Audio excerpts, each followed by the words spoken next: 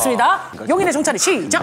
도, 레, 미, 파, 솔, 라, 시, 도, 레, 미, 파.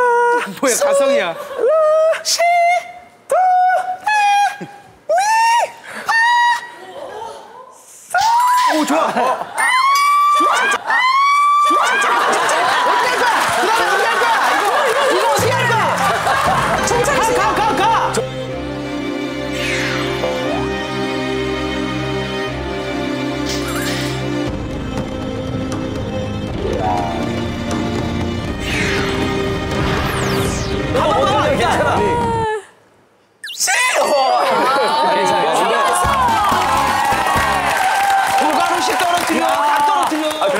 가수인데 왜 이렇게 긴장해? 긴장돼, 이게. 아니 규현 씨 진짜 정찬 씨 실력 봤었잖아요. 어, 어때요? 근데 아마 저도 뮤지컬을 지금 4년째 하고 있긴 한데.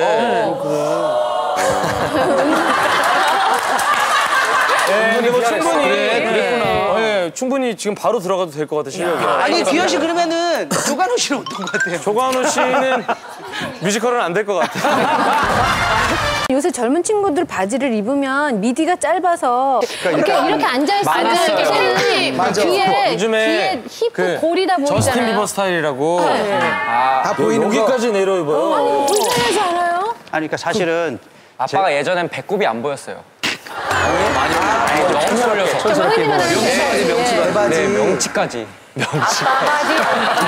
바지만 있으면 뭐 위에 옷을 안 입어도 되겠네 이거. 되겠네